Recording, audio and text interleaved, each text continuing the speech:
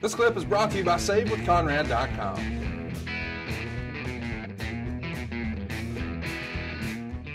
The next match is uh, another one of my favorites, man. The alpha male, Monty Brown. I love this guy. He's going to pick up a win over Sonny Siaki, who I was convinced to know too. This is like their rock. I was wrong on one of those accounts. I got seven minutes and five seconds. Nothing much was done to establish who was the heel or face. A decent match overall, though, with the usual good intensity from Brown and more urgency than usual from Siaki. Star and a half. Two TNA, as you would call them, originals. This is a, a pretty good card so far. We don't spend a lot of time talking about Sonny Siaki, but such a major part of the beginning of TNA. What do you think stops Siaki or Sonny from being a, a, bigger star and catching on more? Time.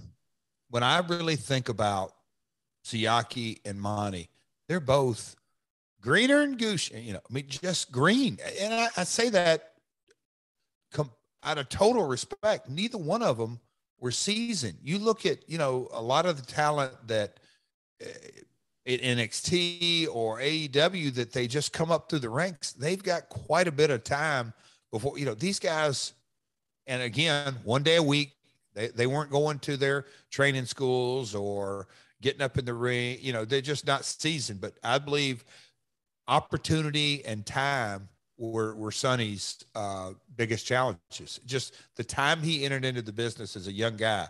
Again, I this whole context is so hard for people nowadays to kind of connect because independent wrestling in 2004 or 5 is nothing like it is today. I mean, at all, domestically or internationally.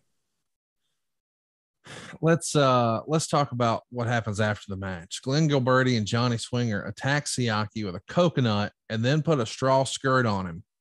Irish Pat Kenny made the save, and then Trinity kicked him from behind. Desire then ran out to even the odds and whipped Trinity with a leather strap. This is a different time, boys and girls, but Glenn Gilberti we know as Disco Inferno. You saw Johnny Swinger all over, including ECW. Irish Pat Kenny was also Simon Diamond. So a pretty loaded roster as far as names that wrestling fans were familiar with. Uh, this is uh, a pretty loaded roster. I mean, I don't know another way to say it, but here we are just three segments in, and it's a who's who kind of of who's not in the WWE, right? It's entertaining. I just kind of remember um, we had broke out um, Swinger and you know Simon Diamond, Johnny Swinger, and Irish Pat was a single guy. I loved it. Um, you know, I, I don't think Pat ever. I mean, yeah, he, he I think he liked it somewhat, but I think he felt more comfortable in the role that he had done a while. But um, Trinity and Desire and yeah, um, lots of entertainment going on uh, in that segment. Coconut and Disco.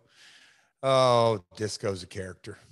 He's something else on Twitter too these days. He is. Let's not talk about that. I know he's he's just too much. Just like Hudson's going to interview AJ Styles, who said he considered himself the favorite in the King of the Ring match because of his experience with ladders.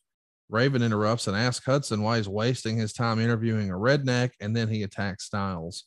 We don't spend a lot of time talking about Scott Hudson, but man, I think he was uh, criminally underrated. You know, we often say a lot of times in business, especially when you're talking about success, boy, timing is everything. But what a talent he was and is fan. He's not underrated in my book because yeah. Conrad, he's he's one of those talents, super smart. His day job um, with the federal government, I'll just say that, and so he worked it where he could come up on Wednesdays. Uh, loves loves the business, so dialed into it. Um, but in in the, this time of TNA, we had so many young guys that um, you know they just weren't the best of talkers or might get a little nervous and hey we're doing this live. Or if you gotta get a, if we're gonna do a pre-tape and russo's gonna have it do have them do it three four five times scott had the disposition to have patience and tolerance and work through it. He's a pro's pro. Scott is really really good at it when he needs to do his work and his uh, interviewee work he can do it if he needs to lay out he can do it uh, Scott's he's kind of one of those unsung heroes of the early days of TNA in a lot of ways. But when you go back and kind of watch the overall work, you go, oh, okay, Scott was really good. He, uh, I don't think he gets his flowers enough. Hey, hey, it's Conrad Thompson. Thanks for checking out the podcast here on YouTube. Be sure to hit the subscribe button and the notifications bell so you a notice anytime we upload some new content. And go save yourself some money right now.